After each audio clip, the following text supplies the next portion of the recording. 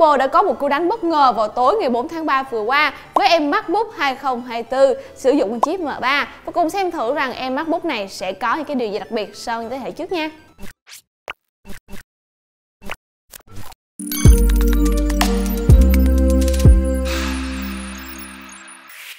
Mẫu MacBook 2024 lần này sẽ có phần ngoại hình giống hệ thế hệ trước với hai kích thước là 13 và 15 inch, bắt đầu với hệ điều hành chính là M3 và sẽ có mức giá dao động từ 28 đến 33 triệu đồng.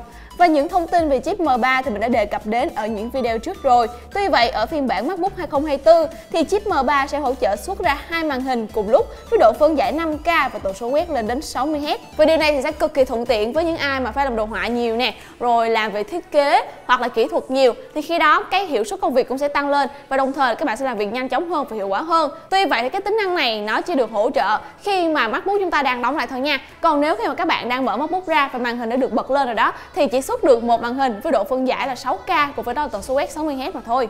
Thời lượng pin theo Apple công bố cũng không khác biệt so với M2, sẽ dao động từ 15 đến 18 tiếng tùy theo tác vụ và nhìn chung thì cũng lâu phết đấy.